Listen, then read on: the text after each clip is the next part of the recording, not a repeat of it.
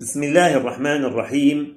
الحمد لله رب العالمين والصلاة والسلام على سيدنا محمد وعلى آله وأصحابه أجمعين. وبعد فنواصل الحديث في كتاب شهادة لا إله إلا الله محمد رسول الله صلى الله عليه وسلم.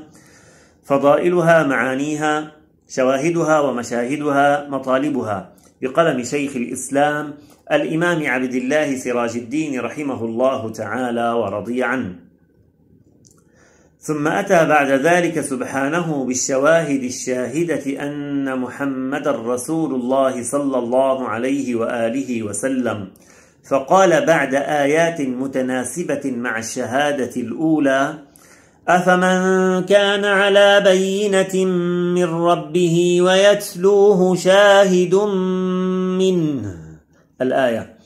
وهذا سيدنا محمد صلى الله عليه وآله وسلم. فإنه على بينة من ربه وهو القرآن العظيم الذي جاء به من عند الله تعالى.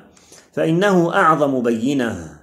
وهو البينة القاطعة التي تثبت قطعا أن محمد رسول الله صلى الله عليه وآله وسلم كما تقدم بيانه. ويتلوه شاهد منه أي ويتلو هذا القرآن المدلول عليه بكلمة بينة يتلوه في تصديق هذا الرسول الكريم وحقيقة نبوته بقوله شاهد منه. صلى الله عليه وسلم.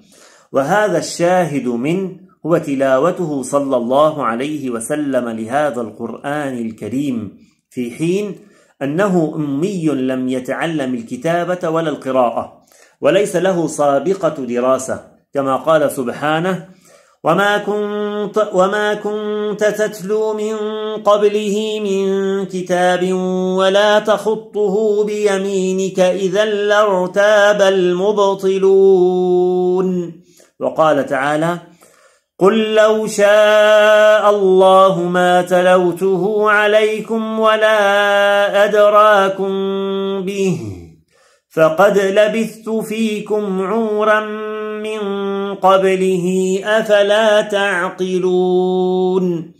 أي بقيت فيكم قبل أن أنبأ أربعين سنة ولم أتل عليكم شيئا من ذلك لأنه لا علم لي بذلك حتى إذا بلغت الأربعين فالله تعالى نبأني وعلمني وأنزل علي هذا القرآن وأقرأنيه وأمرني أن أقرأه عليكم فاعقلوا تعلموا صدق نبوتي وحقيقية رسالتي قطع قطعا. والحمد لله رب العالمين.